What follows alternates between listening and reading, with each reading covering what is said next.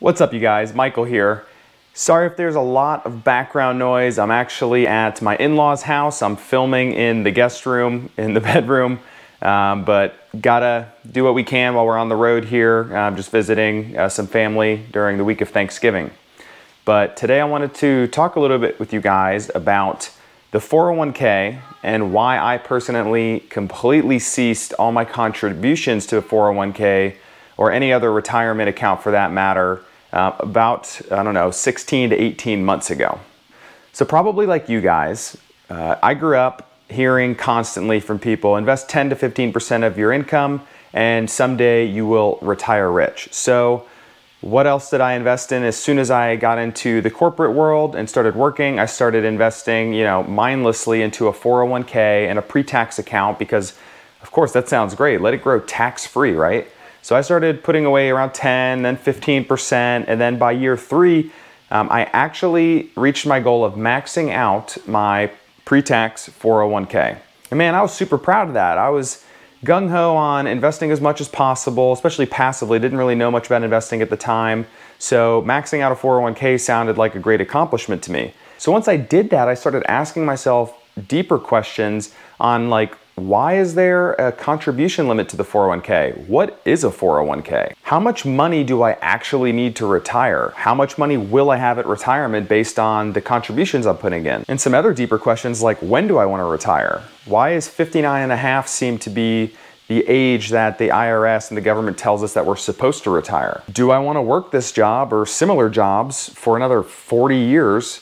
Or maybe longer, maybe less, I don't know. Again, all these questions start to build up and snowball in my head and get me thinking a little bit deeper about what I want to get out of life and get me thinking about money differently. And like many of you guys watching, whether you're younger or older or maybe somewhere in the middle, we all get caught up in climbing the corporate ladder because that seems to be the safest and least risky path to making more money, right? We can climb the corporate ladder by getting promotions, getting raises, but what typically comes with those things is actually less time to spend with our family, less time doing what we actually want to do, less time chasing things that really, truly deep down make us passionate. Because ultimately, when you guys get promotions and work your way up, um, those types of people work long hours and it becomes more stressful. And this is not a healthy lifestyle, in my opinion. So I started to do more research on what are some other ways that we could still work hard now, but invest differently, and what would those returns look like, and would that allow me to live the lifestyle that I want to live, not just when I'm 60 or 65 years old, but in my 20s and in my 30s. Because, you know, we're young, life is vibrant, we want to be able to travel the world and do a lot of things, and then spend a lot of time with our kids um, that maybe we wouldn't ordinarily be able to spend with them if we were working, you know, 15 hours a day or 10 hours a day or whatever the job dictates. And there's one saying in particular, I forget who said it, that just really hit home for me. And it goes something like this No one on their deathbed has ever said that they wish they spent more time working in their life. But many people have said, I wish I spent more time with my family. I wish I spent more time helping others. I wish I spent more time traveling. I wish I spent more time, you know, seeking new experiences. Because there's one thing that is finite in life for everybody, and that's time. And also, we don't know when that time is going to expire. It's going to expire at some point for everybody. All right, not to get all doom and gloom on you guys, what I'm going to do is briefly go over what a 401k is and hopefully help you understand whether you should or should not be investing your money in a 401k. Because at the end of the day, I'm willing to bet that the vast majority of you guys watching are watching because you are seeking something greater in life and you don't want to participate in the rat race long term, right? You're looking for an out, you're looking to be financially free, you're looking to do something greater with your life than spend, you know, the vast majority of your days working a nine to five job that you may or may not truly care about. Before we dive in, guys, if you haven't already subscribed, please do me a favor and tap the subscribe button below. Hit the like button, drop some comments if you have questions or commentary on this video. Uh, honestly, it really helps me grow my channel and I just genuinely appreciate it. So that's why I asked. So if you guys haven't, please do me a favor and get subscribed and we'll go ahead and dive right in. In 1978, Congress passed the Revenue Act of 1978 and there was a section or provision 401k This gave employees a tax free way to defer compensation. Now, the 401k, interestingly enough, was actually not implemented to be the sole savings or investment accounts for retirement. It was supposed to supplement additional retirement savings. Now, I always thought the rules around this were kind of funky. Why is there a limit to how much you can contribute each year if you're if you're in charge of your own investments and, your own future?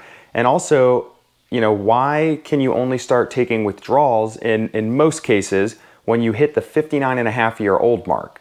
because um, life expectancy for people varies, right? Uh, depending on your individual situation.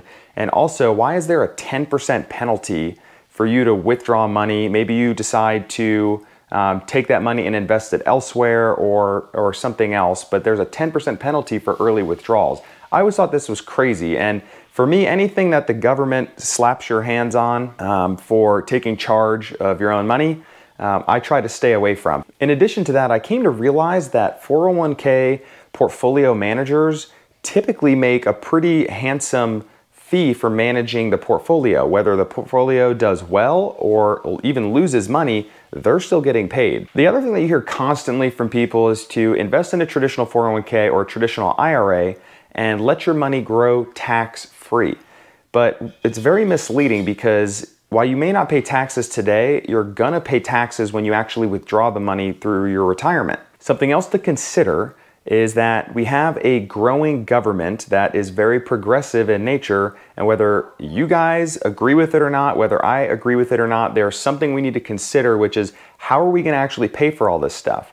And we are currently today among one of the lowest marginal tax rates uh, in US history, actually. So in order to pay for many of these things, we're going to probably be taxed as a society, not just taxing the rich, but taxing everybody in order to pay for some of these things. So for that reason, I'd rather in, invest after having taxes pulled out today, because I have a feeling that uh, taxes pulled out today will be much less than they will 30 to 40 years from now. So as these thoughts started to go through my head, investing in a 401k, especially a traditional 401k or IRA, started to be sound a lot less attractive to me. And I decided to stop contributing to the a 401k and I started investing the vast majority of my money into real estate and specifically rental properties and even more specifically short-term or vacation rental properties that we list on Airbnb and VRBO.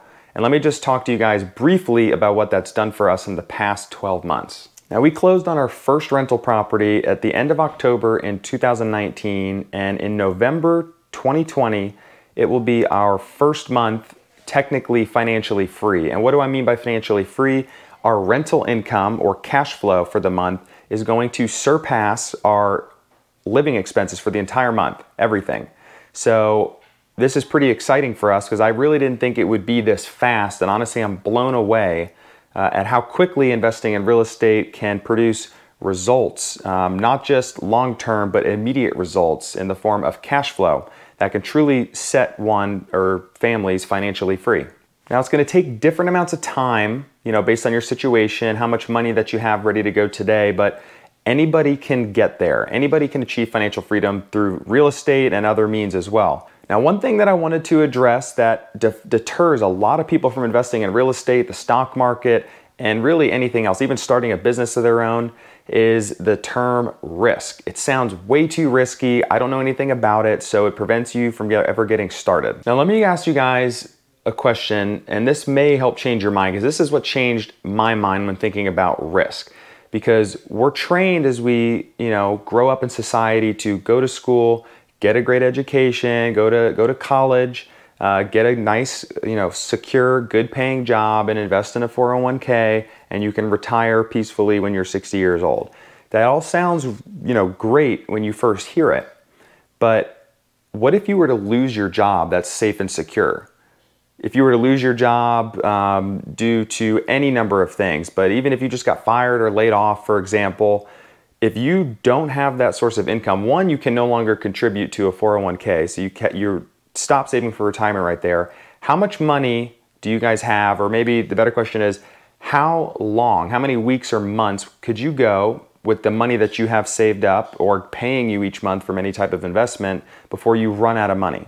All of a sudden, just working and relying solely on a nine to five corporate, you know, W-2 paying job, not that, not that there's anything wrong with that, but solely relying on that sudden, suddenly sounds a lot riskier. Now, what if I were to tell you instead of investing in a traditional 401k, you turn those investments toward investing in real estate, investing in rental properties? There are many benefits to investing in real estate and specifically rental properties. Number one, you get monthly cash flow. So this is what's going to ultimately set you guys financially free because it's going to pay you each month. And as you acquire more properties, your cash flow snowballs. So when you get to a point where your cash flow outpaces the, your, you know, your living expenses, you are technically financially free.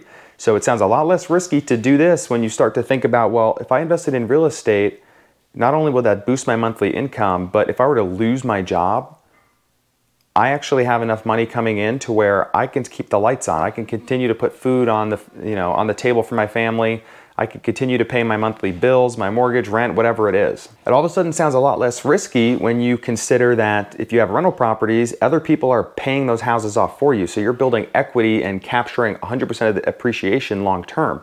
So not only are you getting paid monthly, but you're actually building a nest egg between all your rental properties as well. And what if you wanted to actually chase something that you're truly passionate about outside of your, your corporate job? I'm not saying that you guys all don't like your, you know, your day-to-day -day job. You may love it and that's great. But a lot of people actually don't. If it weren't for the money paying them every single week, most of them would probably not work that job anymore.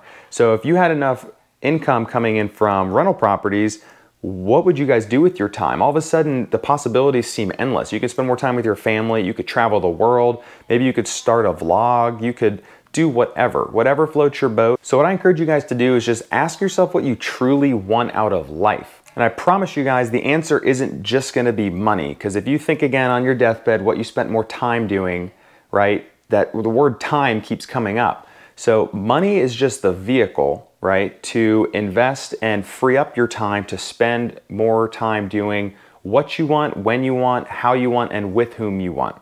And if you guys want to use a 401k as part of your investment strategy, that's totally cool. Everyone's path is different. I'm not saying uh, don't invest in a 401k or IRA. Uh, if that's part of your strategy, great. But what I do encourage you to do is learn what that 401k is invested in, how much you know you're paying the manager of the portfolio, and um, how much money you really need at retirement. And again, lastly, just make sure what you guys are doing every day with your money, especially when it comes to your investments, align with your actual goals in life. I hope you guys found some value in this video and hopefully I got some different thoughts or maybe different viewpoints going in your head now. Um, if you did find some value in it, do me a favor, hit the like button, subscribe, drop some comments below, drop questions below. Um, I'd love to hear from you guys. But I really do appreciate you guys watching and I hope to see you again in the near future for some other videos.